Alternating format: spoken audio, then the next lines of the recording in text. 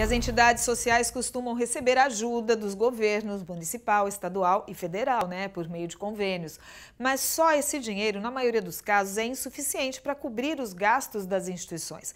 E é aí que entra o trabalho e a ajuda de voluntários, além das doações. Há cinco anos, Geisa e Cristiano realizam trabalhos voluntários para ajudar a quem precisa. E há quatro meses, essa vontade de melhorar a vida do outro bateu ainda mais forte. Eles largaram tudo e foram morar no alto do Morro do Alemão, no Rio de Janeiro. Pedem doações, fazem eventos e dão tudo o que recebem e a si próprios para os moradores locais. Uma satisfação que, que parece que não cabe dentro do peito, você poder olhar um sorriso, a alegria de uma criança, e muitas vezes num, num ato simples, não é nada extravagante, é simplesmente, ah, às vezes, um doce, uma brincadeira, uma gincana, você vê o coração, assim, no olhar da criança, ela cheia de esperança tipo, e a alegria que está dentro dela, isso é muito satisfatório. Esse instinto de ajudar também despertou bem cedo no coração da Meire. Ela conta que, quando criança, pedia alimentos, batia de porta em porta na casa dos vizinhos para arrecadar o que podia para doar nas comunidades carentes. 10% da renda desta convenção de Tatu foi destinada a entidades assistenciais de Rio Preto um total de mais de 2 mil reais em dinheiro e quase 300 quilos de alimentos não perecíveis. O fato de você se doar e você conseguir né, angariar recursos para colocar um pouquinho de sonho na vida das pessoas, eu acho que isso é arrepiante. Eu, eu realmente eu fico muito grata e muito agradecida. Uma das instituições beneficiadas foi a ACD. O déficit mensal é de, em média, 50 mil reais.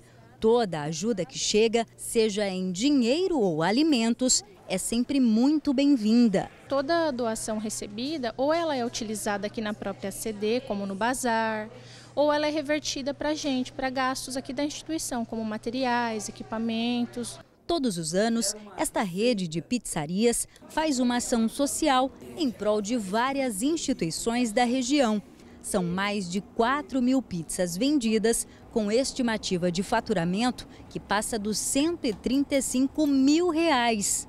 É uma troca muito. É, é, fazer o bem para a sociedade, colaborar com, essas, com esses jovens, esses, esses parceiros da sociedade, é o nosso papel. Em Rio Preto, a Renascer e a Alarme são as grandes beneficiadas. E olha só, Alguns alunos puderam literalmente colocar a mão na massa.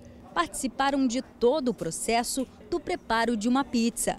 Imagina se eles gostaram da experiência. Ah, foi muito legal porque eu nunca tinha feito uma pizza antes e foi bem diferente porque eu não sabia fazer nada e já sei como é que eu posso, tipo assim, se eu quiser montar uma pizzaria um dia, já sei o, básico.